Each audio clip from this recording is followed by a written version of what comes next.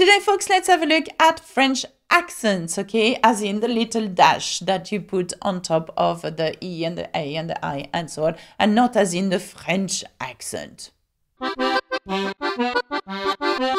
I'd like you to do is have a look at the accents we have in French. Well, we have a few, okay, but I'd like to concentrate on two accents today, okay? So that's why I've titled The French Accent Part 1. Okay, let's have a look. Now, as you may be familiar when you read French, you may have noticed that at top, on top of the E, you have a little dash. Okay, this is called an accent okay, an accent. And you may have noticed as well that sometimes it goes one way and sometimes it goes the other way, okay? Well, it has a purpose, okay? It means something. So if you see it, you need to write it properly, okay? And you need to read it properly too. Because the reason why they are on top of the E would be to change the sound, okay? Let's concentrate on the accent aigu or acute accent and not acute accent, by the way. Now, the accent aigu looks like this. Ding! Okay. Now it looks like this. It has an E and a dash, okay? That goes from the left up to the right. Now the accent aigu has this sound. E. E. Can you say that? E. Okay?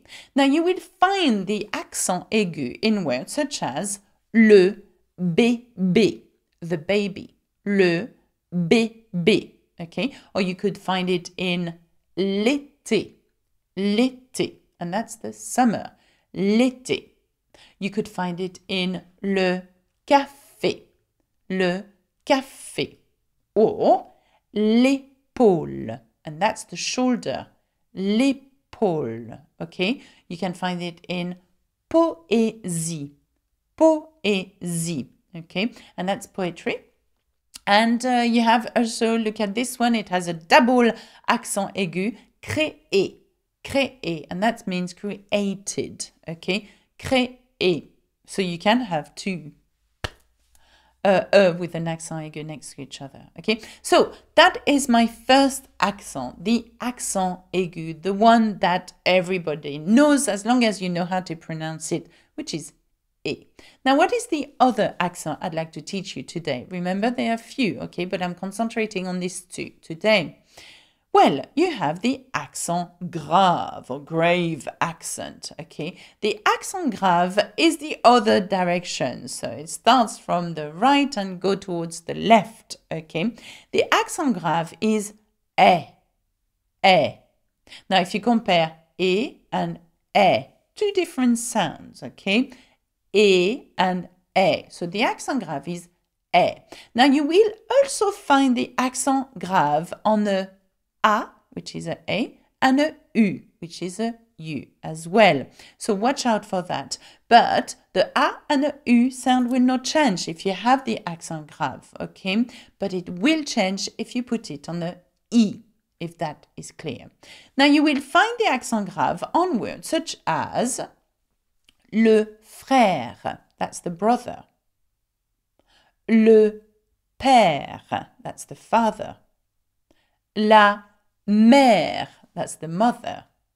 You will find it also on très, which is very, très, très. You would find it on crème, which is the cream, okay? Crème, okay?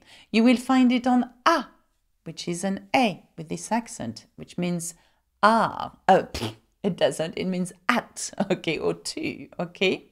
Or you would find it on ou, o, u, accent. Now, watch out here because, and it tells you uh, that two words of uh, same sound, okay, we call them uh, homonym, I think, homonym, yeah, uh, that uh, means two different things. So the ou, where you have an accent grave on top of the u means where, that means where is it, and the ou, where there is no accent grave means or, okay, or coffee or milk for example, okay? Café ou lait, okay? So, what you need to know that sometimes you can find the two accents in the same word. So one accent aigu and one accent grave.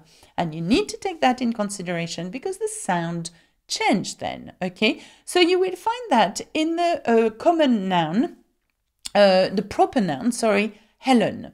Now, Helen in French is Hélène. Hélène. Now, have a look at that. E, accent aigu, len, n, accent grave, okay? You will find also this word in élève.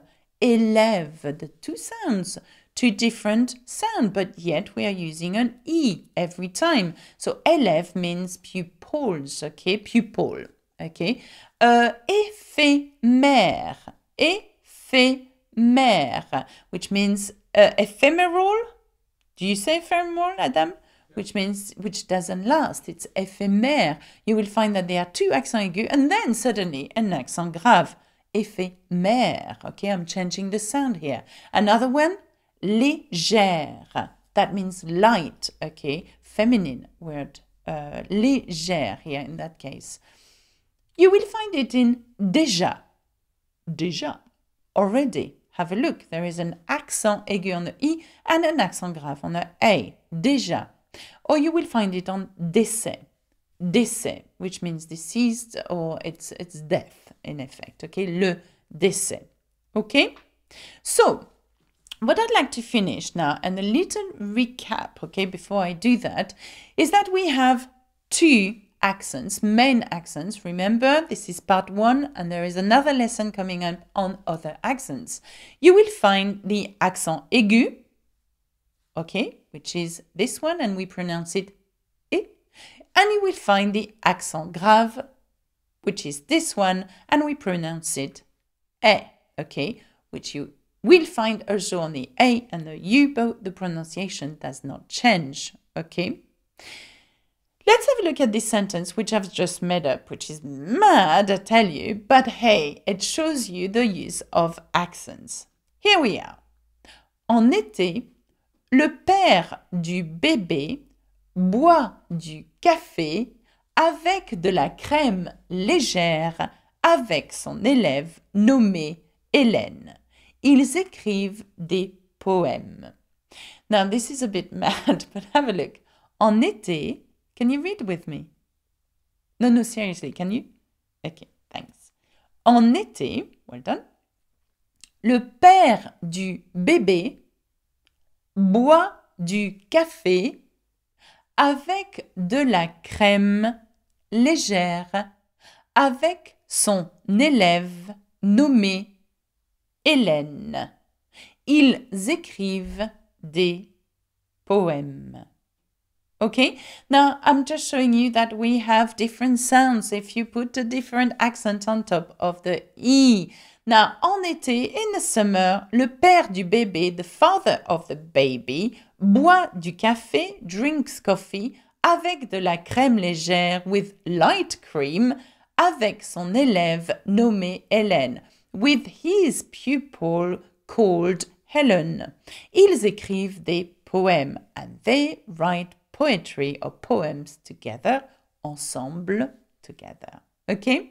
So, I hope this first lesson on accent was useful to you and you've always wondered what this accent meant. Well, there you are. I've tried to explain you as uh, clearly as possible and I hope I have done just that.